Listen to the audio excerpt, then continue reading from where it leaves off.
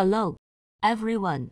In this lesson, we will learn about the for loop statement. The for loop statement is the most commonly used loop statement and is typically used when the number of iterations is known in advance. The syntax of the for loop statement is shown on the screen.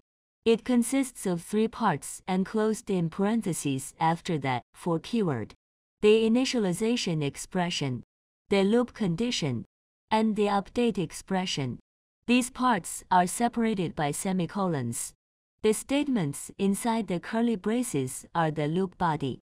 Now let's dive into the details of the for loop statement. Let's analyze the execution flow of the for loop by using numbers to represent each part. First, initialization expression. Second, loop condition. Third, iteration expression. Fourth, loop body. The execution flow of the for loop is as shown on the screen. Step 1. Execute the initialization expression. Step 2. Evaluate the loop condition.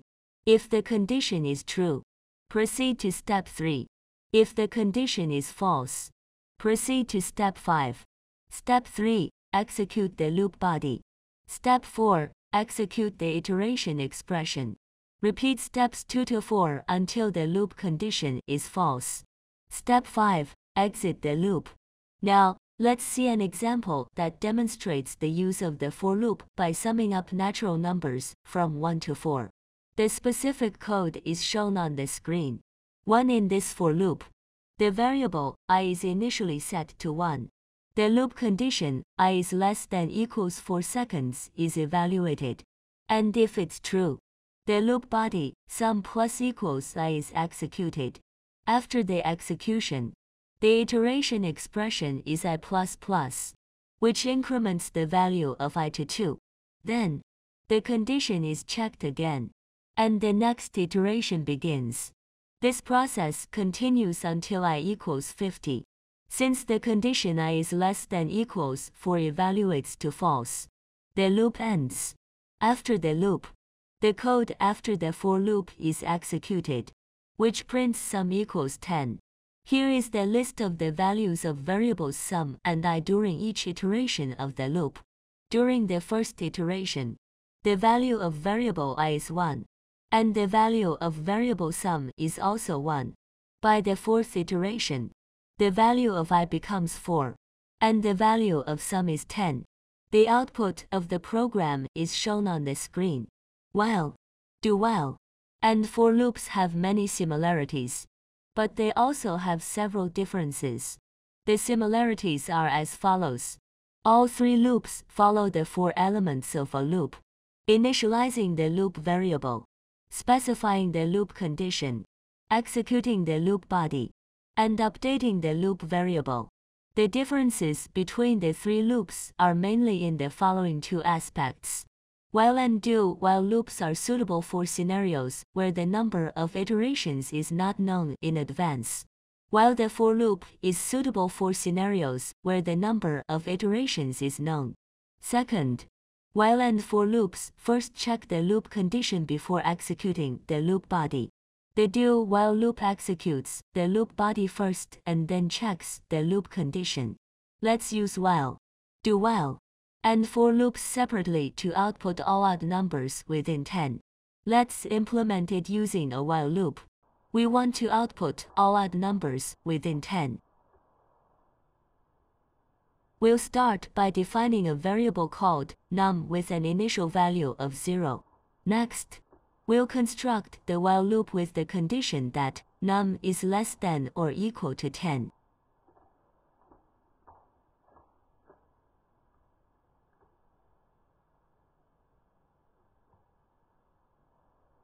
Once the condition is satisfied, we enter the while loop body. Inside the loop body, we need to check if the number is odd. We can do this by using the modulo operator percent to check if the remainder of dividing the number by 2 is not equal to 0. If it's not equal to 0, it means the number is odd, and we can proceed with the output. If it's even, we skip the output.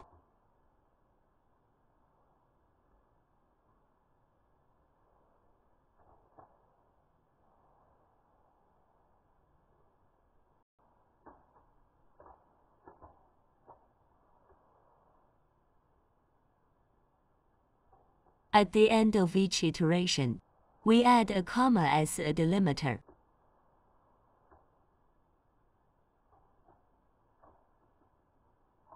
Additionally, we increment the value of that num variable by 1.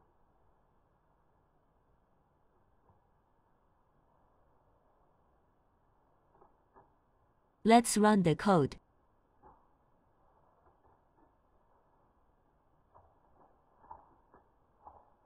You can see that by constructing this while loop, we successfully output all odd numbers within 10. Next, we'll use a do while loop to achieve the output of odd numbers within 10. We'll start by constructing a do while loop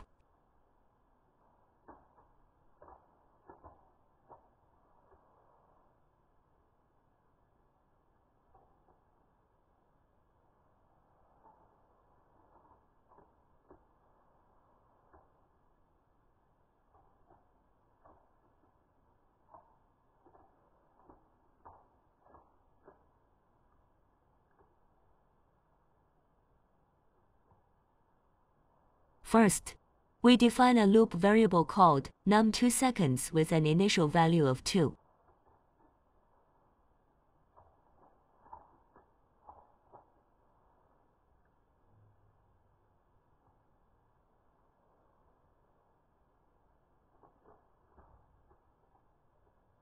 The condition for the while loop is specified after that. It states that the value of num2seconds must be less than or equal to 10.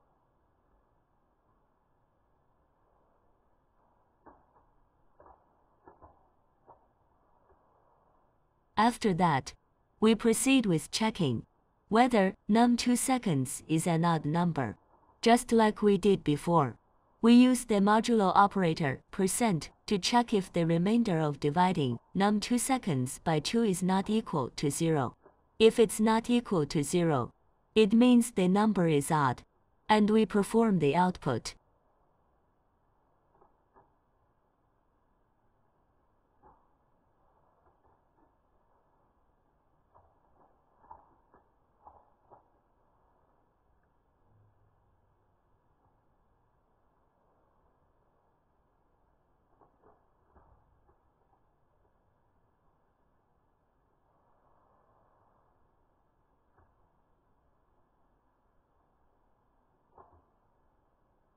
We need to ensure that the loop variable is incremented in each iteration.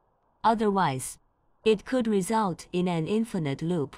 In this case, we increment the value of the num2seconds variable by 1. This will eventually cause num2seconds to exceed 10, and the condition for the loop will become false. As a result, the do while loop will exit and prevent an infinite loop. Let's run the code.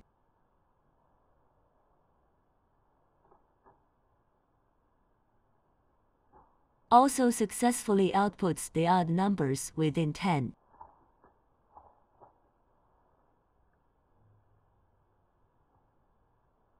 We'll use a for loop to achieve the output of odd numbers within 10.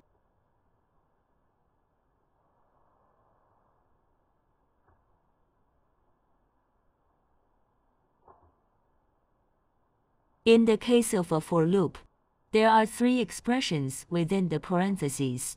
First is the initialization expression, where the variable i is initialized to 1. Then, there's the condition expression, which states that the loop should continue as long as i is less than or equal to 10. Only if this condition is satisfied, the loop will enter the body. Adding 1 to the loop variable in each iteration helps prevent infinite loops. Within the loop body, we check if i is an odd number. We use the modulo operator percent to check if the remainder of dividing i by 2 is not equal to 0. If it's not equal to 0, it means the number is odd, and we perform the output.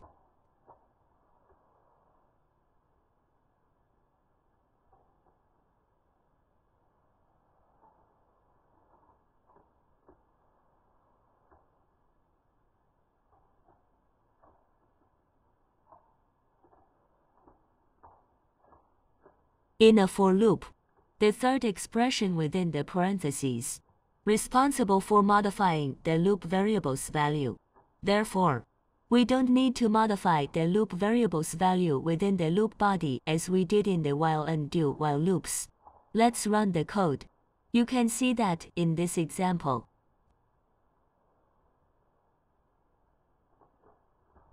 We successfully output the odd numbers within 10 using a while loop, a do while loop, and a for loop. That concludes our discussion on the for loop. Goodbye, everyone. Write down the result of the program.